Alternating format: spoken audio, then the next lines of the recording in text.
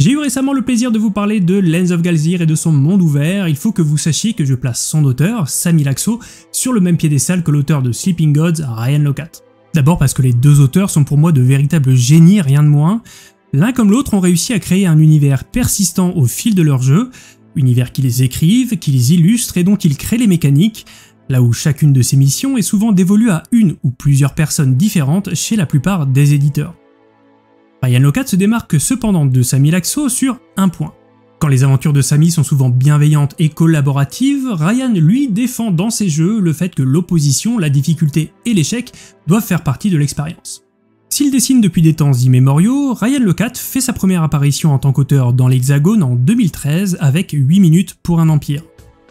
Il n'aura ensuite de cesse d'affirmer son style et de créer, au fil de ses sorties, un univers cohérent que le joueur aura plaisir à retrouver à chaque nouveau jeu, aussi différent soit-il mécaniquement. Ses deux plus grands succès, Above and Below et Near and Far, tous deux issus du financement participatif, faisaient déjà la part belle à la narration, chacun intégrant un volumineux livre d'histoire faisant partie du jeu. Il est à noter que ces deux classiques, d'une richesse et d'une beauté rare, sont déjà disponibles en français chez Lucky Duck. En cette rentrée, les canards se sont lancés un défi de taille, localisé Sleeping Gods, qui était déjà le plus gros défi qu'Oriane se soit jamais lancé. C'était l'occasion parfaite pour moi de vous montrer à quoi il ressemble et ce qu'il a dans le ventre. Doté d'un livre d'histoire de 169 pages rien que pour le jeu de base, Sleeping Gods nous propose de partir à la découverte d'un gigantesque monde ouvert sur un bateau et de mener son équipage dans une quête pour éveiller les dieux. Cette vidéo un peu particulière sera découpée en trois parties. Dans la première, qui contiendra des spoilers mineurs, je vais vous présenter une partie du matériel qui sera contenu dans la campagne française et vous brosser un aperçu des règles en suivant le guide de démarrage rapide. Vous ne prenez pas beaucoup de risques en regardant cette partie, sachant que je ne révèle pas beaucoup plus que le pitch du jeu que vous pourriez retrouver à peu près n'importe où ailleurs. Dans un second temps, je vais vous présenter une partie en cours avec toutes les difficultés que ça peut présenter. Là évidemment on peut considérer qu'on est sur du spoiler majeur, mais cette notion est à relativiser, D'abord parce que tout ce qui m'arrive est conditionné fortement par les choix que j'ai fait précédemment, ensuite parce que je vous rappelle que le livre d'histoire fait près de 170 pages, et enfin parce que je suis convaincu que vous aurez oublié tout ce que je vous ai raconté quand vous recevrez votre jeu. Je pense que cette partie est intéressante puisqu'elle permet de cerner les subtilités du jeu et de pourquoi il est aussi addictif, mais si vous préférez vous préserver absolument de toute révélation, vous pouvez passer au chapitre suivant qui sera le dernier, contenant une conclusion et puis mon avis sur ce jeu. Nous voici donc dans le monde de Sleeping Gods, alors euh, je précise bien, hein, je suis pas là pour vous faire une explication de règles, ce serait long et pas très intuitif. Là l'idée c'est surtout dans cette première partie qui contient donc très très peu de spoilers et uniquement l'introduction, de vous montrer déjà la qualité du matériel en général, euh, de vous donner une idée de l'histoire, du coup du début de l'histoire, et puis euh, de vous montrer les mécaniques sommaires, je vais quand même faire un petit aperçu pour que vous ayez une idée de comment ça fonctionne. Euh, l'organisation du plateau ici, elle ne correspond pas forcément à ce qui est recommandé dans le livre de règles, c'est pour des raisons de place évidemment, c'est un jeu qui prend pas mal de place, on, va en reparler. Donc c'est adapté pour faire au mieux, c'est pas forcément la configuration conseillée quand vous jouerez à votre jeu chez vous. Parlons d'abord de ce qu'on va trouver là sur la table, les éléments de jeu. En bas, le plus important, nous avons notre équipage. L'équipage, vous allez le répartir entre tous les joueurs équitablement, sachant que le capitaine Odessa, elle est un petit peu à part, puisque elle, elle va pouvoir être jouée par tout le monde. Mais sinon, les personnages sont propres à chaque joueur et pendant chaque tour, chaque joueur jouera uniquement ses membres d'équipage. Alors sur ces tuiles équipage, on va trouver pas mal de choses. D'abord sur le côté, on voit que le capitaine Odessa, on est bien, bien pourvu. On va voir tous les talents des personnages. On a par exemple la force, la connaissance, la ruse ici.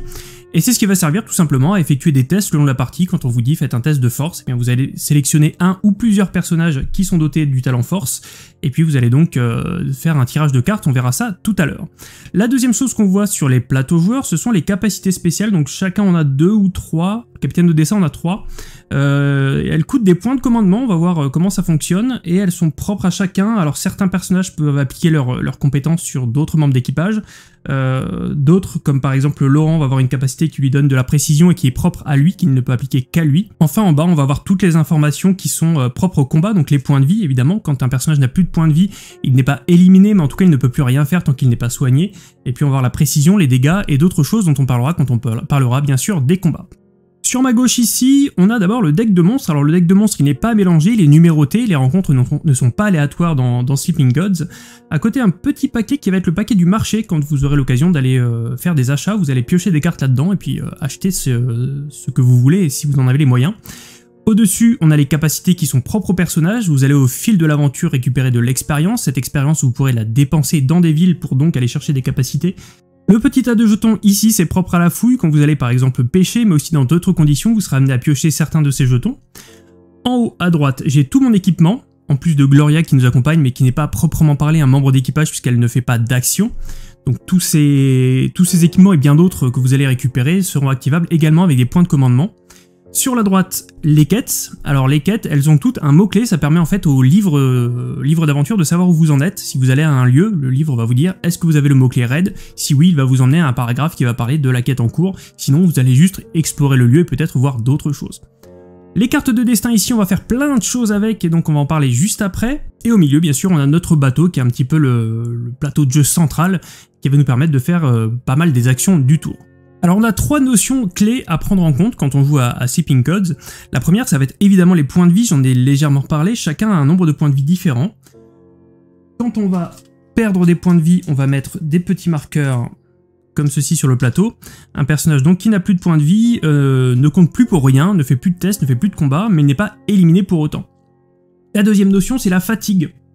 La fatigue, c'est légèrement différent quand vous allez en fait utiliser un personnage, un ou plusieurs personnages pour euh, effectuer des tests. Allez, disons que je fais un test de force avec Raphaël et Grégory. Je vais sur chacun de ces deux personnages placer un petit jeton fatigue. Et c'est assez tendu à gérer finalement parce que euh, le premier jeton vous le posez comme ça, c'est juste un compteur de fatigue. Si je refais un test, alors bon là, j'ai fait le test avec les deux, j'en pose un sur chacun. Si je suis amené à refaire un test avec Raphaël, j'ai le droit, mais par contre je pose ce deuxième jeton côté verso qui m'indique d'abord qu'il fait moins un dégât sur tous les combats puisqu'il est fatigué, mais aussi et surtout que tant qu'il a ces deux jetons fatigue, il ne peut plus faire de test. Donc ça peut aller très très vite si vous essayez de maximiser, vos chances de réussite en faisant des tests avec beaucoup de membres d'équipage. Très vite vous allez être bloqué puisque vous n'aurez justement plus personne pour faire des tests. Donc la gestion de ces points de fatigue est presque plus important que la gestion des, des points de vie parce que c'est vraiment ce qui peut à un moment dans le jeu vous bloquer. La troisième notion, c'est les points de commandement. Alors les points de commandement, vous allez en récupérer à chaque tour, on va voir comment. Ce sont ces petits, euh, ces petits pions bleus là. Et quasiment tout ce que vous allez faire en termes d'action va, vous coûter des, points de commandement. On voit que pour les, actions spéciales, il en faut euh, souvent deux d'ailleurs. Euh, même pour utiliser un objet, là-bas, il va m'en falloir un, ou pour effectuer une recette, pour cuisiner. Euh, je vais en mettre un petit peu partout. La condition, enfin, comment ça fonctionne? D'une part, si j'ai posé un jeton de commandement, je ne l'ai plus, donc ça sert à compter le nombre d'actions que je peux faire à chaque tour. Mais aussi, tant qu'un personnage ou une carte un pion commandement sur elle, vous ne pouvez plus répéter cette action. Si je vais faire ici une cuisine, donc je vais préparer une soupe, je ne peux plus faire de soupe tant que le jeton est dessus, donc ça va m'obliger aussi à, un moment à retirer ces pions commandement. Il euh, y a une gestion vraiment de l'urgence à faire, euh, puisque vous allez voir que très vite vous allez avoir des pions commandement partout, et que même si vous en avez beaucoup dans votre réserve à vous, vous ne pourrez plus les utiliser puisque euh, les actions qui vous intéressent ont déjà été faites précédemment. Avant d'attaquer l'introduction, je vais parler de deux petites choses, et la première ce sont les fameuses cartes de destin. Alors elles ont pas mal d'utilité, c'est assez bien pensé. La première chose à regarder c'est en haut à droite, le chiffre. Ça sert tout simplement à tirer au hasard, donc cette carte dans ma main au début du jeu, hein, mais euh, toutes les cartes ici ont la même, la même structure.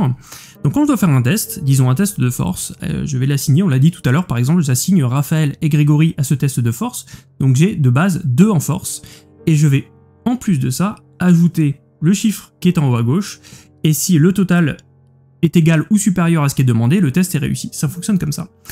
Mais cette carte-là, elle a au moins une icône en plus, et parfois même un pouvoir passif. Pour bénéficier de tout ça, il faut payer les points de commandement ici, ça correspond un petit peu au temps que vous allez passer à apprendre euh, la compétence, à savoir faire la, chose.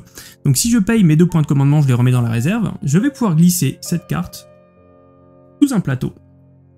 Et on voit maintenant que euh, mon cher Gregory Little a une compétence en bricolage en plus de ce qu'il avait avant, s'il doit faire un test, et qu'en plus, je peux euh, défausser cette carte une fois équipée pour euh, voyager à deux de distance. Donc elle me donner un pouvoir qui parfois est passif et reste, hein, mais là en, l'occurrence c'est un pouvoir qui demande de défausser.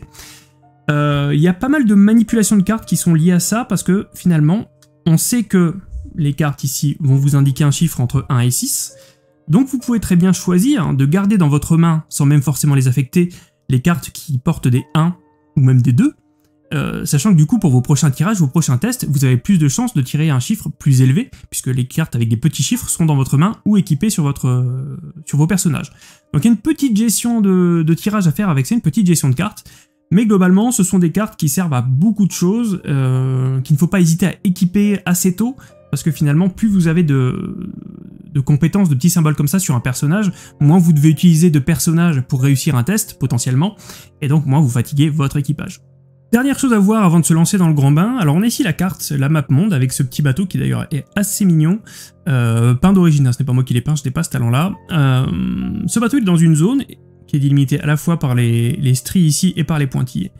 Donc en gros, euh, je sais que pendant mon tour là, tant que je suis ici, je pourrais visiter soit le lieu numéro 2, dans le livre d'histoire qu'on va voir après, soit le lieu 174. C'est ce qui va me, permettre de savoir où je me trouve et euh, est-ce que je peux faire à un moment T, à l'instant T, sachant que il y a également sur la carte euh, des zones de danger qui, euh, quand vous le traversez, vous demandent de faire un test. On en parlait tout à l'heure, donc là par exemple un test de force à 5, au risque, s'il est échoué, de prendre un dégât sur le bateau. Comment fonctionne un tour sommairement? La première chose que vous allez faire, c'est faire une action sur le bateau, les actions ne sont possibles que si les quartiers du bateau ne sont pas endommagés, mais ça on, y viendra dans une deuxième partie. Euh, on va pouvoir souvent, comme on le voit ici, alors là c'est le plateau pour un ou deux joueurs, donc parfois il y a deux chiffres, moi je prends, comme je suis tout seul, le chiffre de gauche. Cette action-là, l'action du pont par exemple, me permettrait de récupérer deux jetons commandement, en plus, et d'enlever tous les jetons qui se trouvent sur des cartes. Donc ça permet de purger toutes les actions et de les rendre à nouveau disponibles, ce qui est intéressant. Ici, on va pouvoir prendre un petit peu plus de jetons, mais en enlever un petit peu moins du plateau. Ici, on peut par exemple récupérer euh, des points de vie, et ici on peut aller à la pêche, c'est-à-dire aller dans le dans ce petit euh, tas là de, jetons et voir si on trouve de la nourriture. La nourriture c'est super important parce que finalement la cuisine, de base on a deux recettes, c'est vraiment le moyen le moins coûteux en temps, en action, en ce que vous voulez, pour récupérer à la fois de la fatigue et puis parfois des points de vie. Le tout étant bien sûr d'avoir les éléments nécessaires pour les recettes. Pour l'instant je n'ai qu'un petit peu de blé, et j'ai quelques pièces, alors les pièces en métal sont absolument magnifiques, je sais pas si on les voit très bien, euh, si je les mets ici, si je vous les montre comme ça. Voilà, elles sont du plus bel effet. Il y a des pièces de 1 et des pièces de 5. Ça, c'est ce que j'ai pour l'instant. Donc on ne peut pas faire deux fois euh, la même action de bateau, donc je fais une action, par exemple ici, donc je prends 3 pions commandement, j'en enlève 2 de ce que j'aurai sur le plateau. Deuxième chose, je tire un événement. Ça c'est immuable, ils sont de difficulté croissante, il y a 3 niveaux de difficulté, donc au fil du temps ça va se corser. Et ça va être finalement, bon je peux en révéler une éventuellement, euh, ça va être un événement qui va parfois vous donner un choix, souvent une conséquence, qu'il y ait un test ou pas, vous aurez une conséquence derrière. Euh, ici par exemple, il est écrit qu'on peut payer une pièce pour acheter euh, deux matériels, donc ce qui est matériel en fait ça va être les planches, les planches de bois, qui servent à, pas mal de choses. Voilà, donc souvent ça peut être gentil comme ça, ça peut aussi être, euh, voilà, il y a une tempête et vous prenez X dégâts, ou bien vous devez faire un test parce que tel machin vous attaque à ce moment-là. Ça donne un petit peu d'imprévu, dans la grande lignée des Ryan Loca, c'est rarement sympa, à part au début, ça peut être encore, encore des choix de, de, dépenser pour obtenir des choses. Après, souvent ça score, ça va être des imprévus qui vont être compliqués à gérer, et globalement, Sleeping Gods est un jeu qui vous demande pas seulement euh, de gérer la situation actuelle telle qu'elle est, mais de prévoir aussi, de prévoir un peu plus loin. Est-ce que je peux encore encaisser X points de vie euh, si un imprévu m'arrive? Est-ce que je peux encore faire un test au cas où s'il se passe un truc que j'attends pas? Ça va être la vraie difficulté du jeu, mais aussi le sel du jeu, c'est que c'est une vraie aventure et tout n'est pas prévisible à l'avance. Dernière chose, une fois qu'on a tiré l'événement, on peut faire jusqu'à deux actions, on peut faire deux fois la même, donc soit voyager, voyager c'est-à-dire déplacer mon petit bateau euh, de zone en zone, alors évidemment, euh, si je vais en bas, là je vais en page 8 par exemple, donc euh, il y a une suite, hein, on n'est pas limité à ça. On a énormément, énormément de régions à visiter, je veux pas trop en spoiler, j'avais dit que je spoilerais pas, mais il y en a plusieurs. Donc ça c'est l'action euh, de voyage. On a aussi l'exploration, alors l'exploration c'est tout simple, je vais explorer la région 2, je prends le bouquin d'histoire qu'on verra après, je vais au chapitre 2, et puis je lis ce qui se passe tout simplement, donc c'est l'action principale quelque part, ce que vous ferez le plus souvent. L'action de marché n'est possible que si vous vous trouvez dans une zone où il y a un marché, évidemment, et c'est cette action-là, je vous le disais, hein, qui vous propose de prendre cette carte dans le paquet marché et puis d'acheter tout ce que vous pouvez vous permettre et que vous voulez. Alors il y a beaucoup beaucoup de choses, euh, ça va être soit des, objets à équiper, soit des objets qui vont... Alors ça, ça s'équipe par exemple sur un personnage. Euh, on va avoir des, objets qui sont propres au bateau, qui vont, être, qui vont profiter à tout le monde, donc euh, à contrario des armes, là il y a beaucoup d'armes. Je pensais l'avoir bien mélangé pourtant. voilà, donc il y a pas mal de choses, le prix est en bas, et ça va vous donner divers bonus. L'action de port, c'est un petit peu la même chose. Si vous êtes sur un port, comme ici à Zikura par exemple, euh, là vous avez tout plein d'actions à faire, euh, entre vous reposer, réparer le bateau, utiliser vos points d'expérience également, ça ne se fait qu'au port. Euh, ce sont des havres, les ports, euh, qui vont vous permettre à la fois de reset un peu, de remettre à zéro, de récupérer de manière plus globale qu'en faisant de la cuisine, et, etc. Et puis de vous améliorer, de progresser. Donc régulièrement, il faudra avoir les moyens euh, se donner les moyens d'aller dans un port et puis de, bah, de, se renforcer un petit peu si vous voulez, tout en faisant si possible des achats, souvent les régulièrement en tout cas, euh, les ports vont être équipés d'un marché à côté, donc quand vous y êtes, il faut avoir un maximum d'argent et d'éléments divers pour en profiter un maximum et pas, ne pas avoir à faire des allers-retours constants euh, auprès du port le plus proche. Je vous propose maintenant de partir sur le scénario d'introduction. Alors je l'ai dit, on est sur du spoiler très très mineur, ça va tout juste euh, pitcher un petit peu le, début de l'aventure, et puis montrer des mécaniques de base comme les tests ou les combats. Donc vous ne risquez pas grand chose en regardant ça, et ça peut vous donner quand même une idée de comment le jeu tourne. Euh, l'histoire, c'est que le, capitaine Odessa va prendre la mer pour aller rendre visite à son père malade, et euh, peu de temps après le départ, elle va se retrouver prise dans une gigantesque tempête. Une fois cette tempête apaisée, notre euh, capitaine Odessa va se retrouver dans un monde qu'elle ne connaît pas et elle apprendra très vite qu'en fait les dieux de ce monde euh, sont endormis et endormis a priori à cause des humains, euh, ce qui va lancer la grande quête finalement qui est Sleeping God, c'est-à-dire essayer de réveiller, les dieux à l'aide de totems, sachant que tout le monde ne va pas être forcément euh, disposé à aider notre capitaine et son équipage, puisque beaucoup de gens ont peur que les dieux se vengent une fois réveillés, que les humains les aient laissés s'endormir, les aient euh, laissés aussi longtemps euh, enchaînés dans les abysses. Alors la première chose qu'on va découvrir, c'est quelque chose dont j'ai déjà parlé, il s'agit des tests. Alors des tests, vous en ferez tout le temps, il faudra très très bien les gérer.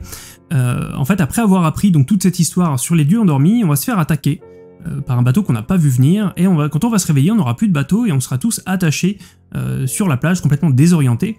Et on va avoir l'occasion donc de faire notre premier test. Euh, la particularité des tests dans Sleeping Gods, c'est que donc on va avoir ici la, la capacité euh, qui, est, euh, qui est testée, donc par exemple ici la force, et on va avoir le droit, avant de tester, de voir les conséquences. Ici elles sont similaires, donc ça a peu d'impact, mais parfois vous aurez un test un petit peu plus dur à faire, mais qui, s'il est raté, aura moins de conséquences, donc il y a souvent un équilibre à faire entre l'une ou l'autre des, des tactiques proposées.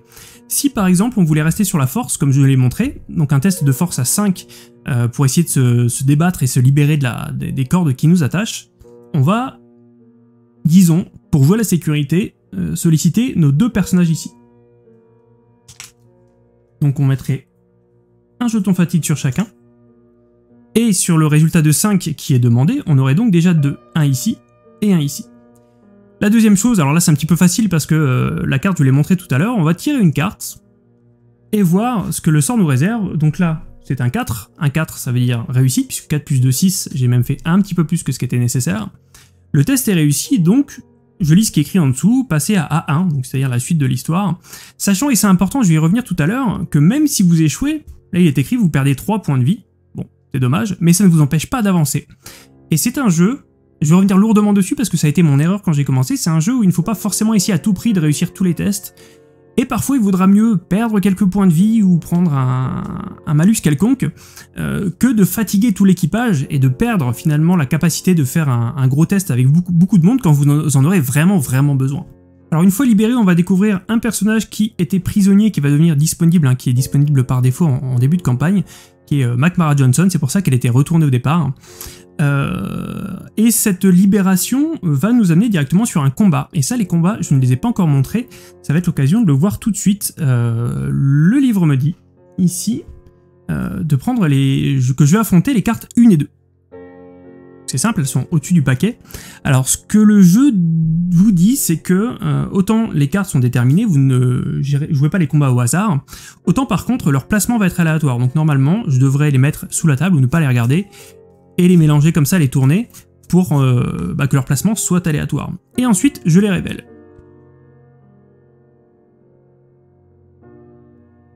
Donc on est sur deux belles bêtes, là, deux, deux beaux taureaux. Alors c'est Minotaur plutôt, parce que ce sont des Minotaurs, ils ont plusieurs caractéristiques. Leurs dégâts sont en haut, donc là 3 plus, plus quoi, on va le voir après. Ils ont 5 en défense, donc c'est le score qu'il faudra battre si on veut leur infliger des dégâts. Et ils ont ici euh, bah, des zones de points faibles, finalement les zones sur lesquelles on peut frapper. Donc, euh, alors c'est écrit petit pour vous, mais euh, il y a la bouche, il y a la tête, il y a le bras, un bras en tout cas, le corps, etc. etc. l'endroit où vous allez viser va être important, parce que par exemple, ce garde, il fait 3 dégâts, plus le nombre de symboles dégâts qui sont sur sa carte. Donc si je le blesse très rapidement au niveau du bras, c'est-à-dire que je vais mettre ici une blessure, si lui m'attaque, il ne fera plus que 3 dégâts, et non pas 4 comme avant. Ici c'est même encore plus important puisqu'il a 2 symboles dégâts, ce qui voudrait dire que par défaut là il va me faire 5 dégâts et que ma priorité à moi ça va être peut-être hein, d'aller mettre des blessures sur euh, les cases qui représentent des dégâts afin qu'il me fasse moins mal en retour. Quand je commence un combat, je vais avoir accès à 4 petits cubes, comme ça, qui correspondent à 4 actions de combat que je vais pouvoir faire avant que euh, ces vilaines bêtes ne ripostent. Euh, sur le un même personnage, vous pouvez utiliser jusqu'à 2 cubes, donc il peut attaquer jusqu'à 2 fois. Les combats sont loin d'être donnés, puisque euh, non seulement ces ennemis-là vont m'attaquer une fois que j'aurai utilisé mes 4 cubes à chaque fois, à la fin de ce qu'on appellerait presque un tour de combat, mais à chaque fois que je vais les attaquer, en plus de toute façon ils vont riposter, c'est-à-dire qu'ils attaquent très très souvent, et moi un petit peu moins, alors comment ça marche? Euh, Prenons par exemple euh, cette jeune femme que je viens de libérer. Elle a ici 4 en précision. C'est-à-dire que si je veux le toucher lui, lui on a vu le Minotaur, le premier à 5 en défense. Ça veut dire qu'avec elle je suis sûr de le toucher, puisque ma carte destin que je vais tirer pour complémenter cette précision sera forcément de 1 minimum. Donc je sais qu'avec elle je vais toucher. Si je touche, donc ce qui va être le cas là par exemple sur le Minotaur, je ferai 2 dégâts plus éventuellement, je peux défausser une des cartes que j'ai équipées pour faire un dégât de plus, uniquement une carte connaissance hein, avec la petite encre. Et le 0, c'est le blocage, c'est-à-dire euh, que quand l'ennemi va riposter, pas quand il va m'attaquer à la fin du tour, mais là quand il va riposter après cette attaque, je vais bloquer, bah dommage 0 dégâts, mais parfois ça peut aller jusqu'à 3. Donc si par exemple avec Marco Reyes ici, euh, je blessais mon premier Minotaur, que je plaçais astucieusement la blessure ici, il riposterait avec 3, mais moi j'ai 3 en blocage, je ne prendrai pas de dégâts en retour. Évidemment, ça va pas être si facile, puisqu'avec une précision de 1, il faut que je tire une carte destin d'au moins 4 pour aller chercher, euh, pour aller passer en tout cas la défense du Minotaur. Disons qu'on est joueur et qu'on va faire ce qu'on a dit, c'est-à-dire effectuer la première attaque avec Marco Reyes. J'ai plus 1 en précision, je n'ai rien dans mon équipement qui me permette d'augmenter ça, euh, Laurent, je vous rappelle, il ne peut augmenter la précision que pour lui et de toute façon, je n'ai pas suffisamment de points de commandement pour activer cette capacité. Je tire donc la prochaine carte Destin. C'est un 5, c'est une réussite. Alors c'est dommage, je voulais vous montrer l'échec, mais je pense que j'aurai tout le temps de vous montrer l'échec plus tard. Donc 5 plus 1, 6. Ce que j'aurais dû faire avant, je ne l'ai pas fait, c'était de cibler euh, la créature que j'attaquais, déterminer quelle créature j'attaquais. Évidemment, de toute façon, j'aurais pris la plus faible en défense pour être sûr de la toucher. Et donc, la carte de Marco me dit que j'inflige un dégât, plus éventuellement un de plus par carte défaussée, mais je n'ai rien à défausser ici, je n'ai rien équipé. Donc je vais prendre mon petit jeton blessure, le mettre évidemment ici, et donc, à ce moment-là, euh, le garde va riposter à 3 plus 0, donc à 3, mais j'ai un blocage de 3, je ne prends pas de dégâts, excellente opération. Est-ce que j'ai envie de la retenter? Pas forcément, parce qu'il pourrait être intéressant quand même d'essayer de battre au moins un des sbires là, avant la fin euh, du round, sachant que j'aurais pu aussi être plus malin et euh, il est possible en fait d'étaler les, dégâts sur plusieurs créatures à la fois, puisqu'elles sont vraiment considérées comme côte à côte. évidemment, avec un dégât, je n'avais aucune chance de, pouvoir étaler les dégâts. Qui est-ce qui met pas mal de dégâts On a Kanan ici, euh, mais Kanan il a aussi un en précision, donc ça risque de louper. Et comme j'ai envie de vous montrer un loupé, on va tenter avec Kanan. À moins que j'ai une chance absolument exceptionnelle aujourd'hui, donc 1 plus, je cible toujours, cette fois je le précise, je cible toujours mon, garde euh, niveau 3 là, hein, qui a 5 en défense. 2. 2, c'est raté. Alors qu'est-ce qui se passe quand c'est raté? Euh, Le Minotaur ici, il va attaquer en premier, tout simplement, puisque je me loupe complètement. Donc il va me mettre 3 dégâts, moins 1 en blocage, je prends quand même 2 dégâts. Sur 5, c'est pas mal.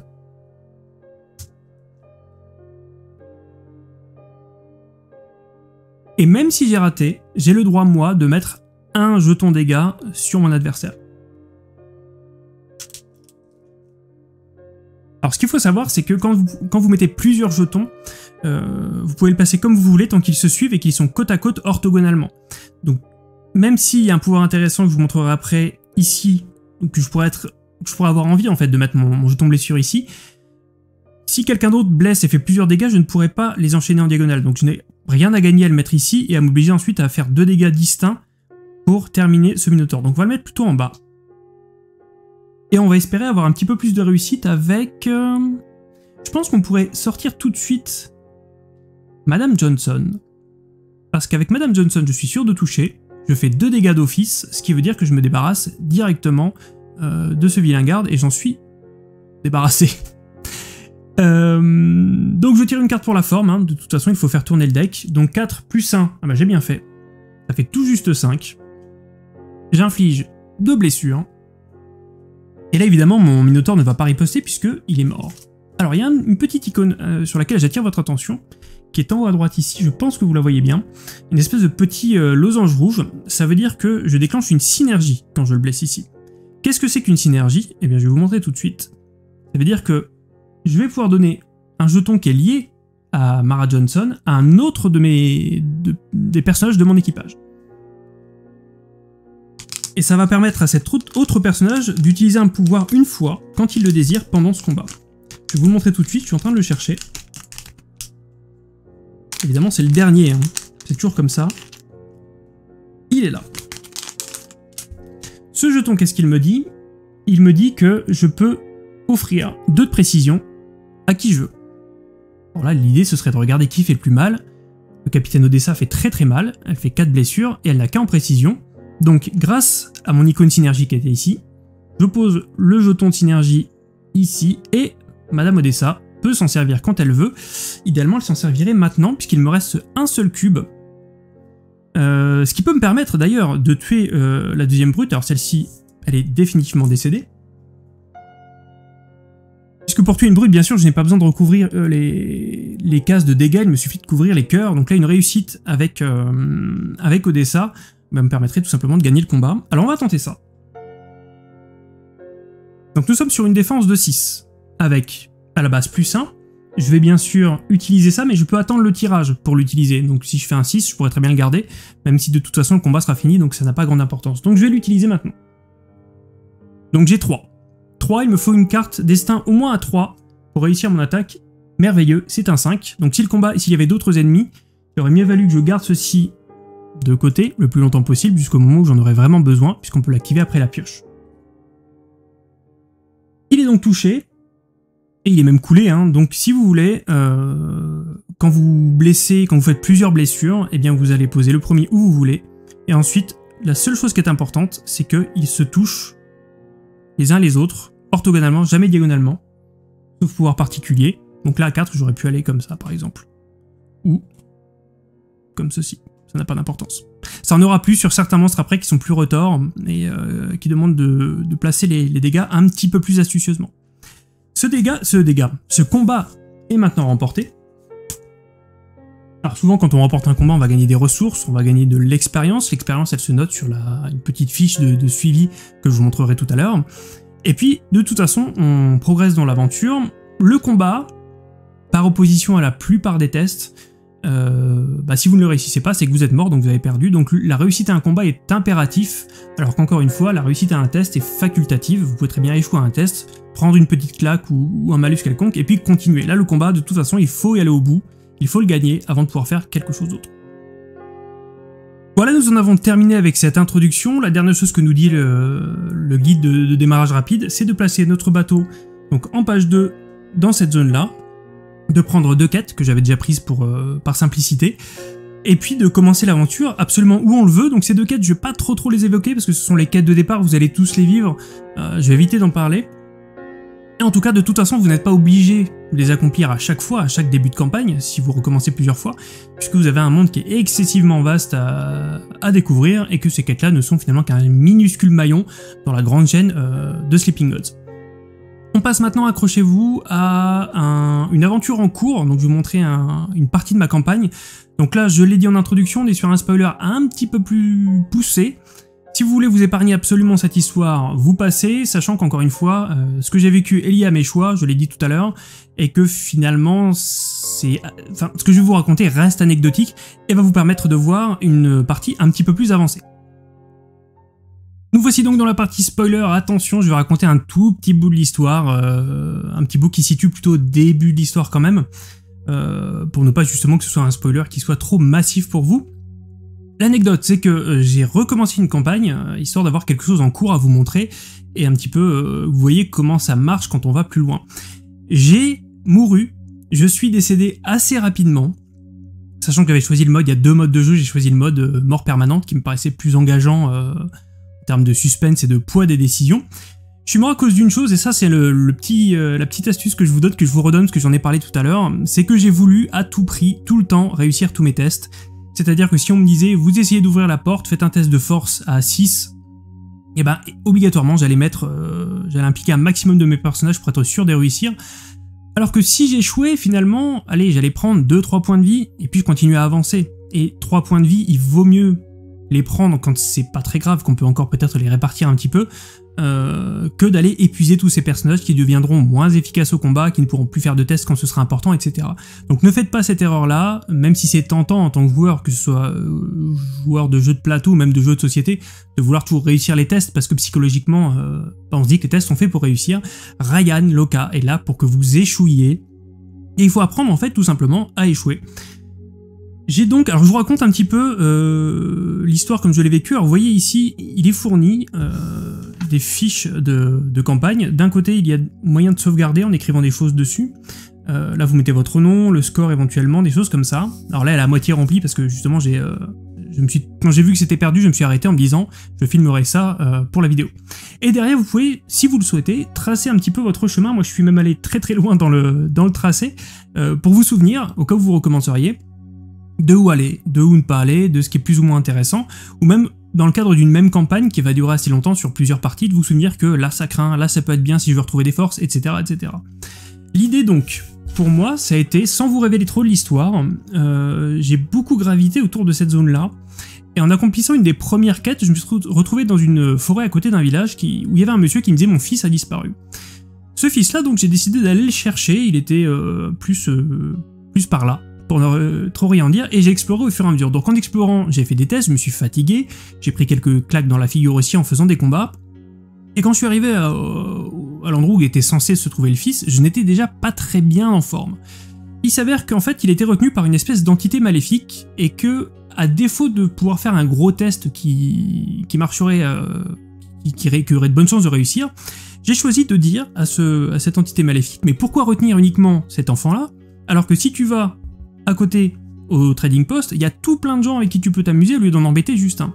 Ça a marché, j'ai libéré le fils. Mais qu'est-ce qui s'est passé? Eh bien cette ville-là, tout simplement, elle est devenue, euh, elle a été, elle est, passée aux, mains euh, de cette entité maléfique.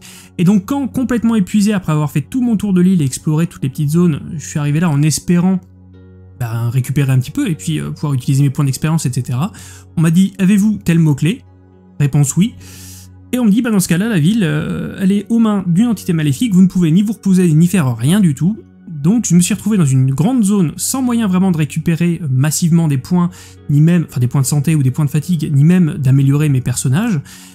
Et j'avais le choix, j'ai fait le mauvais choix, euh, soit de rester dans la zone parce que j'avais plein de quêtes à finir et c'est vraiment ce que je voulais faire en fait, accomplir un maximum de mes quêtes, soit partir plus loin, tourner des pages et puis aller chercher une ville ailleurs ou récupérer. Moi j'ai voulu prendre le risque à tout prix, je me suis dit je finis au moins mes quêtes. Et puis après, j'essaierai de récupérer, et ça s'est très très mal passé, parce que parfois, vous allez vous engager dans une, dans une aventure, sur une exploration, et puis vous allez avoir catastrophe sur catastrophe, et là, clairement, je n'étais pas prêt. Donc on va revivre ce dernier moment. J'ai à peu près reconstitué le plateau, j'ai juste oublié de, de prendre ces cartes-là, parce que j'avais pas mal avancé, évidemment, au niveau des tours, donc j'avais plus autant de cartes événements, on en pioche une par tour. Donc j'étais, je crois, que j'étais au début des cartes, voilà, des cartes vraiment euh, très périlleuses. Donc on va se remettre en situation, voilà, ces cartes-là ont été piochées euh, pendant les tours précédents.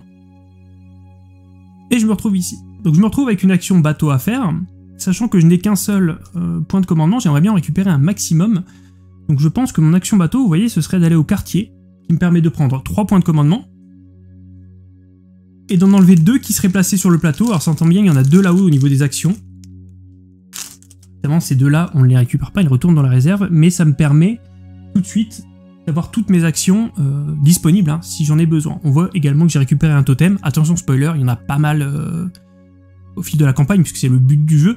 Et en fait à la fin d'une partie, que ce soit par manque de temps, une fois que vous avez épuisé plusieurs fois ce paquet là ou parce que vous êtes mort, vous allez compter vos totems, voir euh, bah, votre score, éventuellement débloquer des objets supplémentaires pour la prochaine campagne, ça va débloquer plein de choses. Donc c'est quelque chose qui, une aventure qui continue, qui se transporte de campagne en campagne. On voit tout de suite que j'ai un petit peu de nourriture, je pourrais choisir euh, de cuisiner pour un point de commandement. Donc je peux dépenser 3 nourritures de mon choix, donc ces 3 là. pour retirer un jeton de morale négatif que je n'ai pas et trois jetons de fatigue. J'étais parti du principe que je n'allais pas cuisiner et que j'allais garder ça pour utiliser éventuellement les pouvoirs spéciaux de mon équipage. Euh, par exemple, celui-ci est, radical, il permet d'augmenter de, 1 la carte du destin que vous allez piocher. On a même euh, Kazumi qui permet de, pour un seul point de commandement, de retirer une carte si vous tombez sur un 1. Ça peut être salvateur. Donc moi je m'étais dit je vais garder ces petits jetons là en cas d'urgence et pour le coup j'avais plutôt bien fait. Je suis donc ici, dans cette petite zone là, et je décide d'explorer euh, la zone 47 qui, d'après une carte que j'ai récupérée, serait euh, une zone intéressante qui me permettrait de trouver éventuellement des totems ou euh, des choses qui feraient avancer mon aventure. Avant d'effectuer nos actions, on va donc tirer une carte événement, j'en ai parlé tout à l'heure, et on va voir ce qui se passe. Alors généralement, c'est pas Jojo quand on est à ce, niveau-là du jeu. Alors là, on me dit qu'il y a des problèmes avec le moteur, donc c'est une carte qui va rester en permanence, et je dois payer un point de commandement pour voyager. Et ensuite, si j'arrive à faire un, test à la fin d'un tour, un test réussi de, bricolage à 7, euh, je me débarrasse de cette carte. Donc pour l'instant, mon bateau, un souci moteur, on n'oubliera pas, si on doit se redéplacer, heureusement là où on est, on est où on veut être, et on va passer à notre phase d'exploration. Je vais donc en page 47 de mon livre d'histoire, et la première chose que va me demander le livre sur cette page, c'est est-ce que j'ai le mot-clé Falcon, qui est lié donc à une quête, la fameuse quête de la carte que j'ai récupérée? On voit ici que j'ai bien le mot-clé Falcon. Je passe donc directement en 47.3. 47.3, qu'est-ce que ça me dit Que je suis donc la fameuse carte, et que dans la forêt où je suis, euh, j'arrive à un moment dans une clairière, euh, en fin de journée. Euh, il y a une énorme bête qui tombe sur, sur Grégory, Grégory qui est donc ici. Et en se débattant, il pousse des cris, etc. Et on se rend compte en fait qu'il y a d'énormes chats qui nous traquent. Alors c'est plus que des chats, c'est plus des, panthères qui nous traquent. Et finalement, il se rend compte qu'on était, on était suivi depuis le départ. Et là, c'est le premier imprévu finalement. Vous êtes sur, euh, vous partez d'une quête de départ, vous la rejoignez, vous la continuez un petit peu plus tard dans votre aventure. Première chose, directement un combat. Euh, et pour être complètement clair, j'étais pas vraiment prêt à ce combat. Il euh, y a un niveau dans le combat, c'est écrit level 11.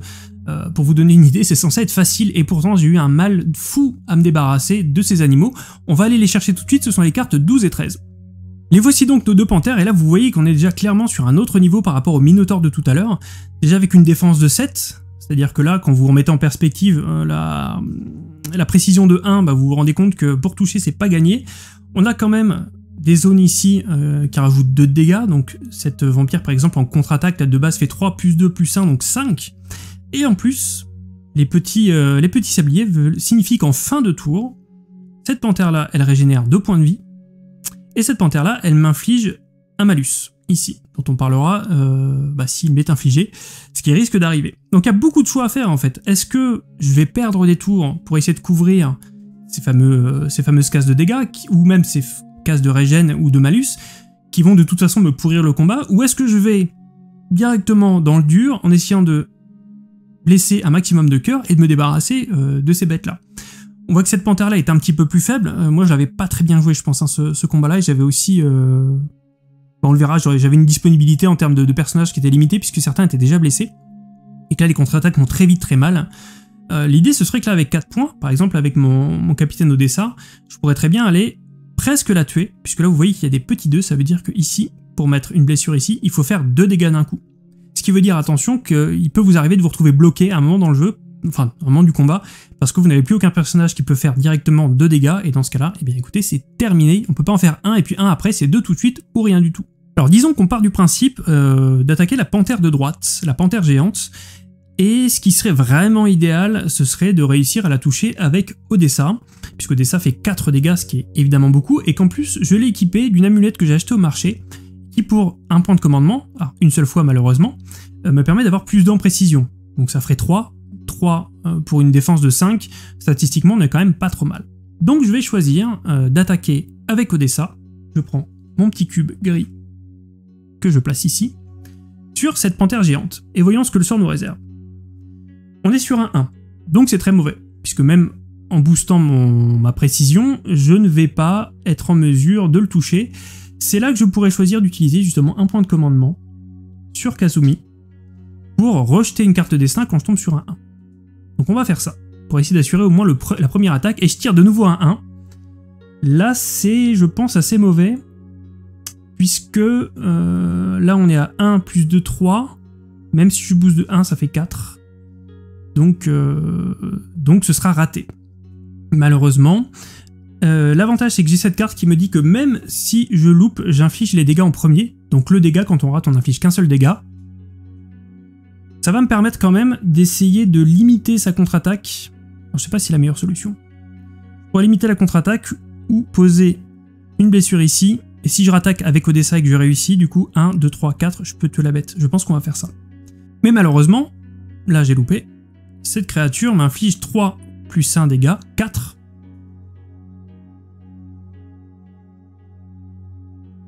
Et là forcément on va commencer à y réfléchir à deux fois puisque si j'attaque et que je ne tue pas, n'importe quelle riposte là peut me mettre à terre. Sachant qu'évidemment pendant un combat on peut pas cuisiner, donc là j'ai aucun moyen de récupérer des points de vie tout de suite. Donc c'est pas joli, on va quand même prendre le risque, là ce serait quand même dommage de tomber sur un troisième 1, d'utiliser Odessa une deuxième fois en espérant que cette fois ça passe et que je puisse tuer cette panthère géante avant qu'elle n'ait le temps de riposter. tombe sur un 2, donc visiblement c'est pas mon jour, mais un 2 ça va encore, puisqu'avec un point ici, gagner 2 en précision, donc 3 plus 2 ça fait 5, je touche bien ma panthère, et alors là bah, ça va être euh, le combo.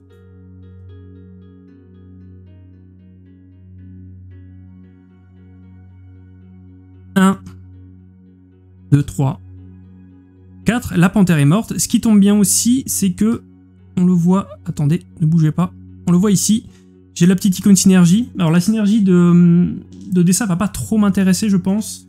Vous la montre quand même. Elle permet tout simplement d'attaquer en diagonale pour une attaque. Je vais la mettre sur quelqu'un quand même, mais j'ai pas forcément eu beaucoup l'occasion de m'en servir. Je fais une toute petite parenthèse aussi parce que je le, note que maintenant, j'ai oublié de vous le dire, vous voyez que mon bateau a pris des dégâts. Ça arrive parfois en cas de péril en mer ou euh, quand vous tirez un événement. Euh, à partir du moment où vous avez deux cubes sur une des zones du plateau, vous ne pouvez plus utiliser cette zone du bateau.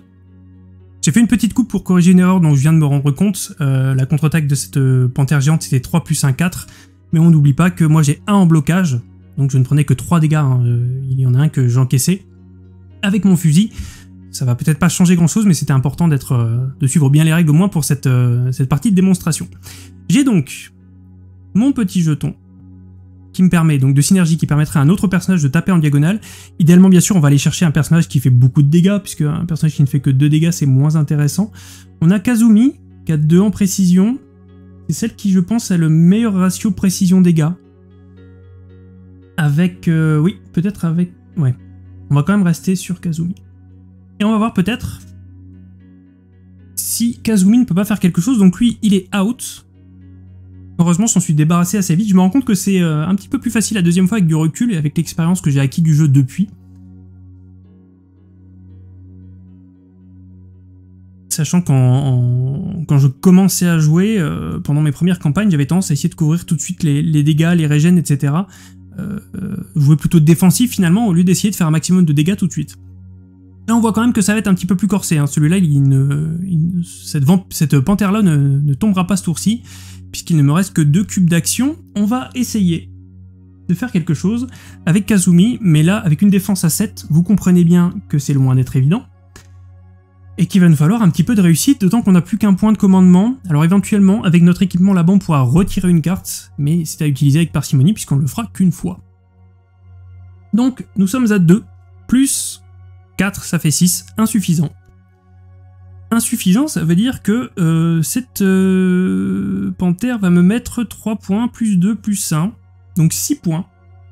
Je bloque à 0, je viens de littéralement tuer Kazumi, vous voyez ça peut aller très vite, en même temps j'aurais pu réfléchir un petit peu plus. Donc elle, elle est KO.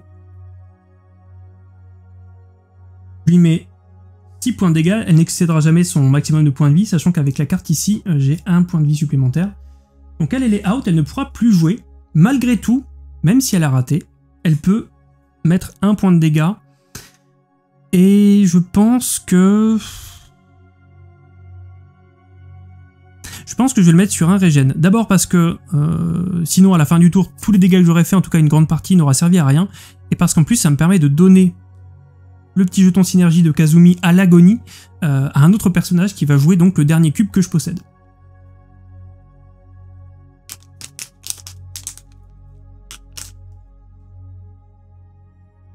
Son jeton, quand elle le donne à quelqu'un, elle va offrir plus un dégât.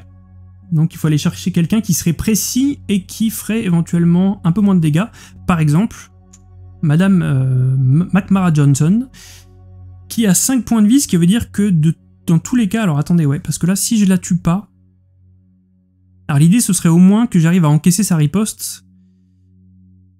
Et évidemment, je ne vais pas pouvoir couvrir les deux. Donc je sais pas si c'est une bonne idée de la mettre sur elle. Il faudrait quelqu'un qui puisse encaisser un petit peu, mais aussi quelqu'un qui puisse blesser. Donc je pense que l'idéal, c'est de partir sur Rafael Vieira, qui a quand même 7 points de vie, donc qui ne craint pas trop. On va essayer. Donc, plus 3 en précision.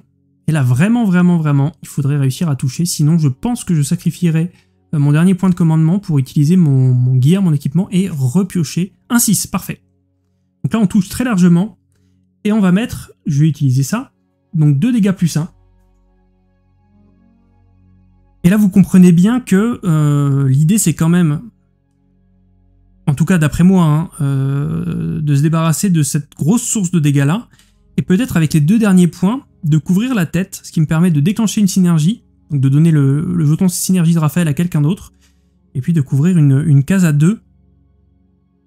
Même si tant pis, hein, du coup, euh, ma panthère va régénérer un point. C'est dommage, mais on n'a pas d'autre choix, je pense. En tout cas, ça me paraît être, le meilleur choix. Donc on va faire comme ça, le jeton synergie. J'aurais dû y penser avant finalement, mais c'est en, échouant qu'on apprend, hein, Dixit euh, Monsieur Loka, puisqu'il offre deux blocages à un joueur. Donc si j'avais fait les choses dans le sens inverse, je n'aurais pas perdu bêtement Kazumi.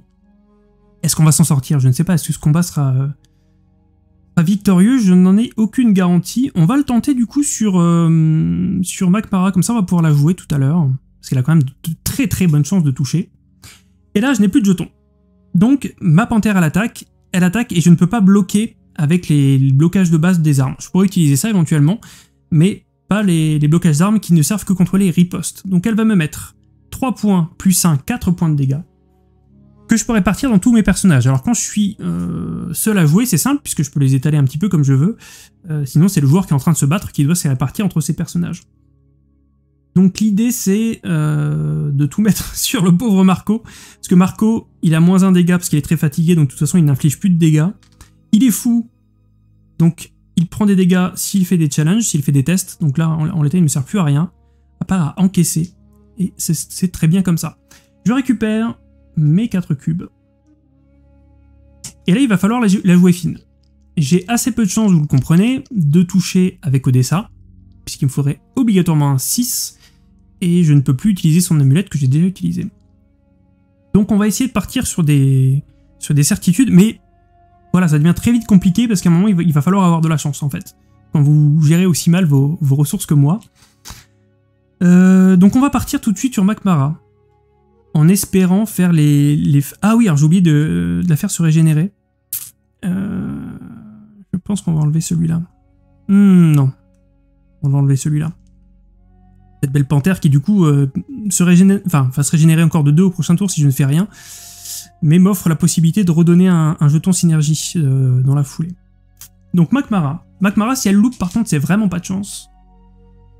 Alors les combats parfois, comme ici, euh, vont prendre une grande partie de, de votre temps de jeu finalement, mais ils n'arrivent pas si souvent que ça. Mais quand il y a un combat qui se déclenche, asseyez-vous confortablement parce qu'il va falloir euh, stratégiser et vous voyez que c'est très très très très complexe avec finalement assez peu d'éléments.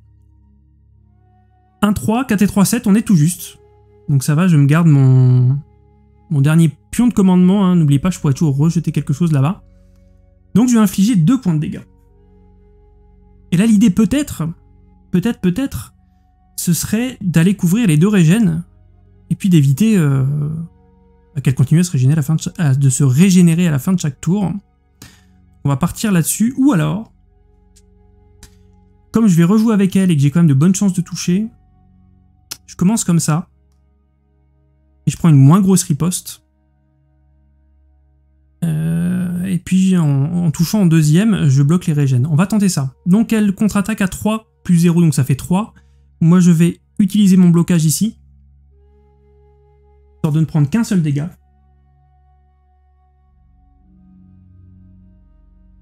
Bon, de fait, au prochain tour, je vais être un petit peu obligé de la sacrifier. Ou alors il faut que je temporise. Mais là, si je l'utilise une deuxième fois, elle va riposter à 3, j'ai aucun moyen de la contrer. Donc c'est compliqué.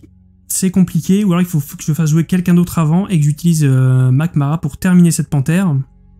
Bon, dans tous les cas, j'ai pris la riposte. Euh, je n'ai pas couvert de synergie. Ouais. Qu'est-ce qu'on pourrait faire? Qui a de bonnes chances de toucher?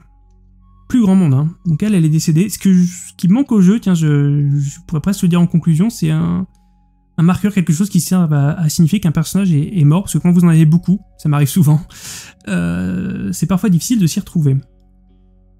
Pourrait tenter le tout pour le tout, et puis... Euh, et puis faire jouer des ça, la sacrifier en fait. Hein. Sachant que si je mets 4, évidemment, je suis très très bien si je mets 4 dégâts. Mais il me faut obligatoirement un 6, donc c'est complètement perché.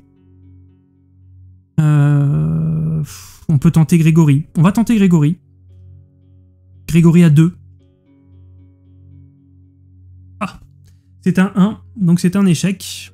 Donc je prends tout de suite 3 dégâts. Bon, heureusement, ça devient raisonnable. 3 dégâts, c'est... Euh, ça, se gère ça se gère, mais n'oubliez pas, ce que vous ne verrez pas aujourd'hui, c'est que même si je gagne ce combat, après il faut continuer. Faut réussir à avancer, retrouver éventuellement un port, faire un petit peu de cuisine, mais euh, euh, il n'y a, aucun moment euh, là à proximité qui va me permettre de remettre tout le monde à neuf. Et c'est un petit peu ça en fait, vous, dans vous avancez avec des, bah, des malus hein, de plus en plus lourds qu'il faut réussir à gérer au mieux. Je mets quand même un dégât. C'est la bonne nouvelle. Alors je pense que je vais... Ah bah voilà, j'ai trouvé ma technique. Ah, ça va me poser problème aussi. En fait, ce qui m'intéressait, c'était d'utiliser la synergie ici. C'est bien parce que sa synergie à lui, ça permet d'empêcher quelqu'un de mourir une fois. Mais le problème, c'est qu'en faisant ça, m'oblige à faire... Bon, il y a des dégâts ici, mais celui-ci, comme on n'a pas le droit de mettre les dégâts en diagonale, ça veut dire que je vais être obligé de mettre au moins deux coups pour réussir, mon, pour réussir à, le, tuer. Et ça, ça me fâche.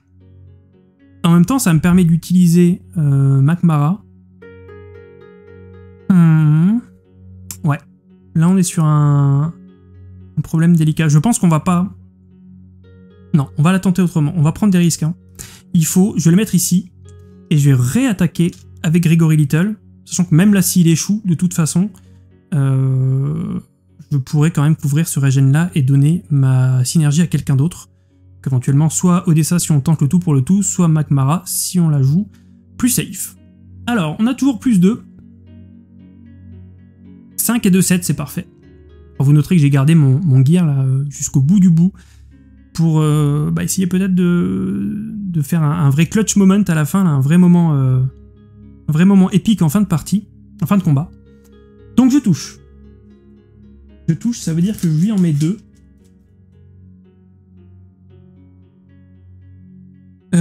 ici et ici, je n'ai pas le choix, hein, puisque dessus il faut mettre deux dégâts d'un coup pour remplir cette case. Et cette euh, panthère riposte à 3, je suis donc officiellement décédé. En tout cas, mal en point.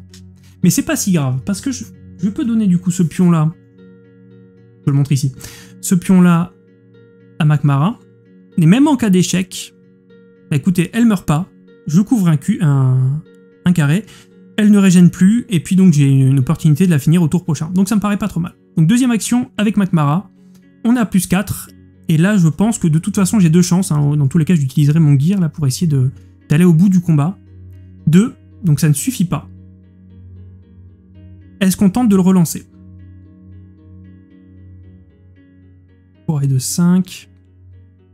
On va pas le relancer, on va le garder jusqu'au bout.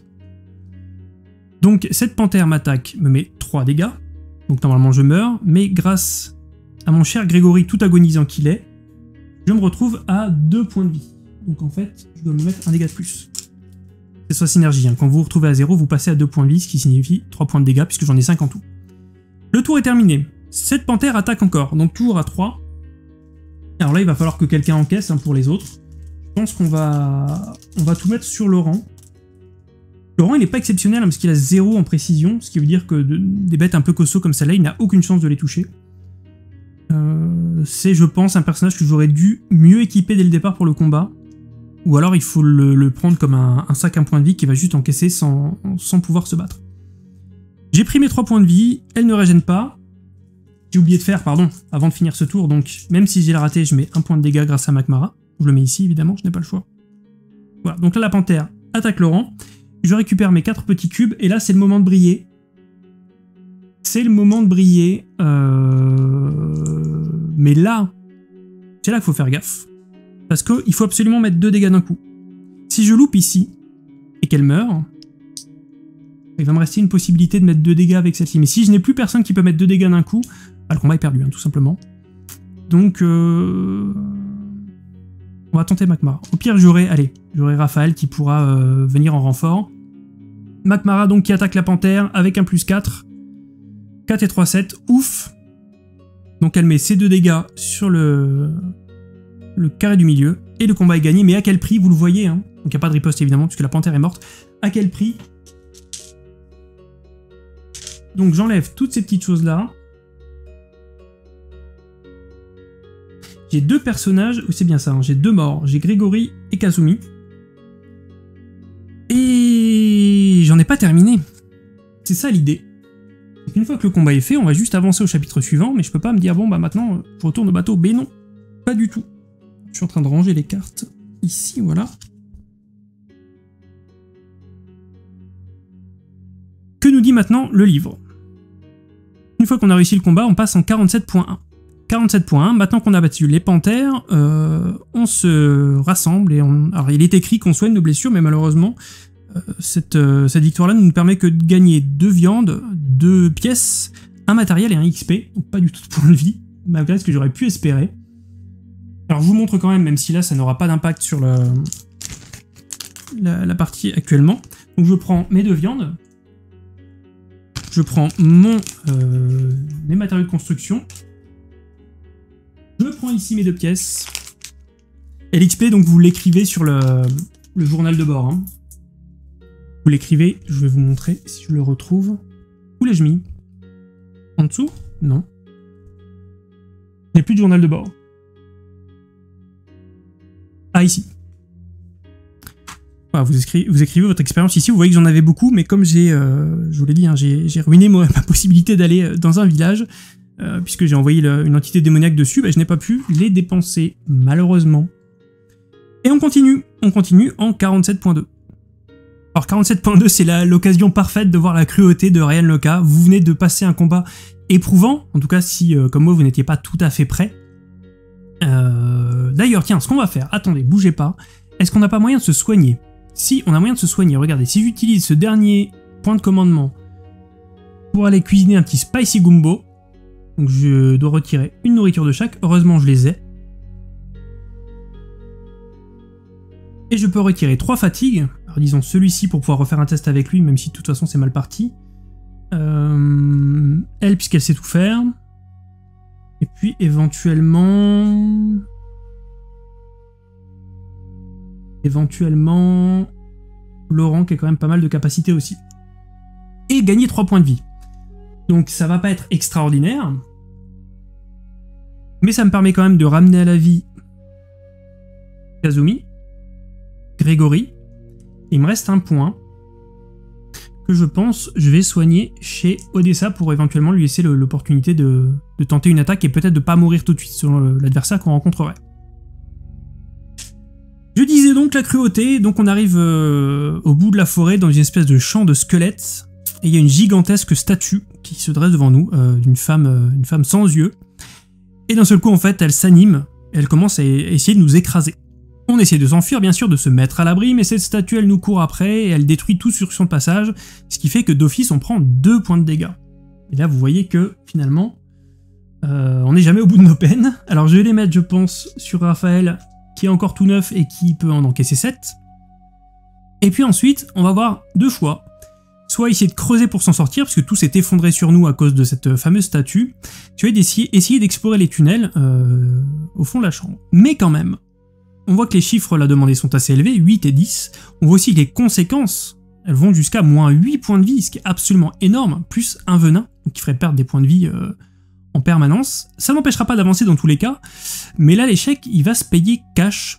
Euh, je pense que je vais tenter la force en espérant qu'il n'y ait pas encore un autre combat derrière, puisque je vais devoir épuiser la plupart de mes équipiers. On va voir comment on va faire ça.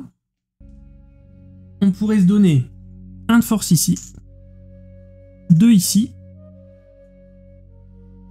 euh, 3 ici, puisque elle, n'a pas encore utilisé de points.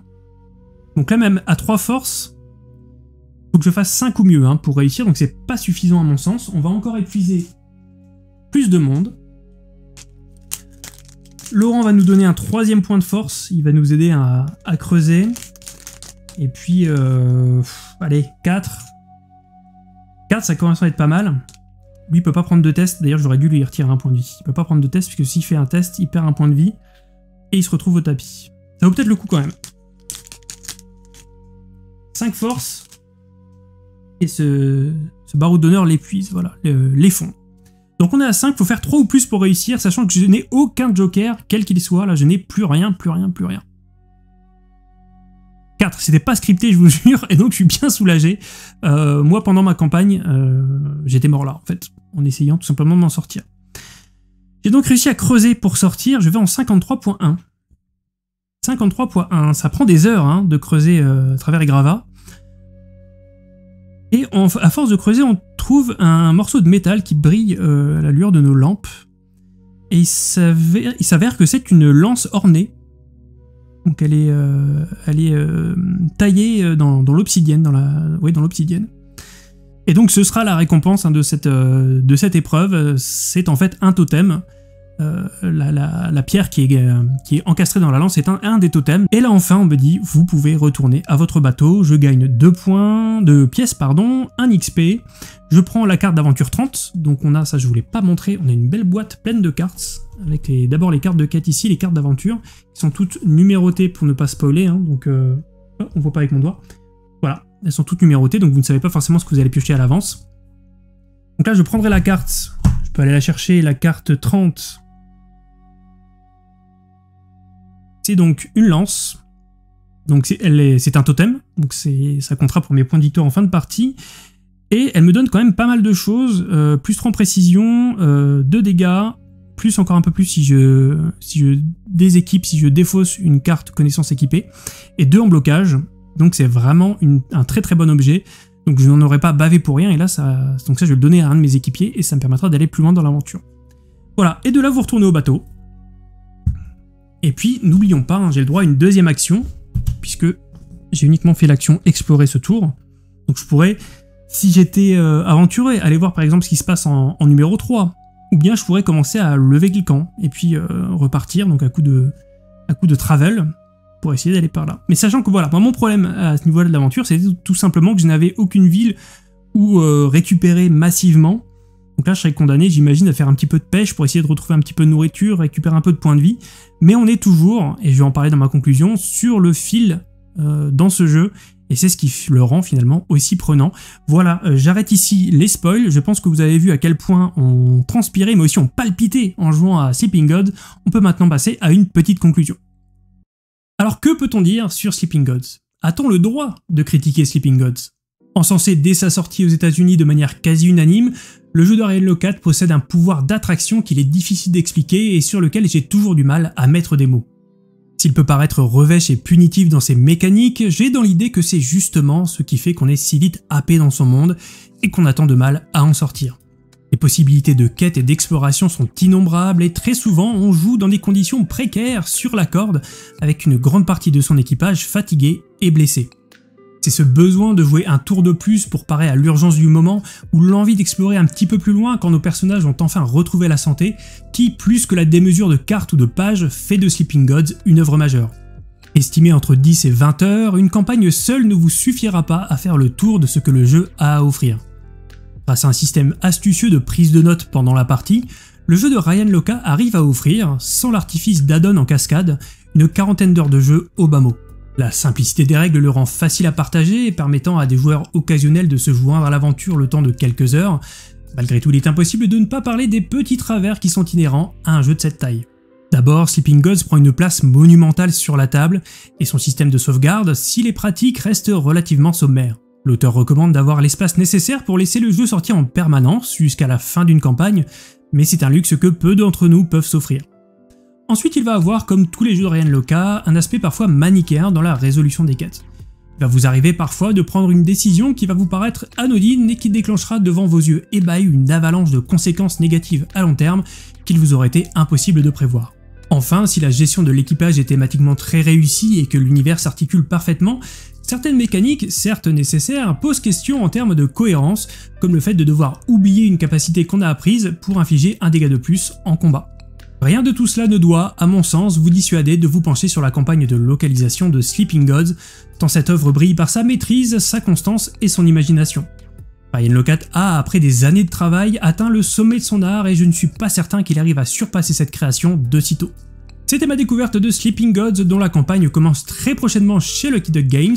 J'espère vous avoir donné envie de vous pencher sur ce jeu, je vous souhaite de belles explorations et je vous dis à très bientôt.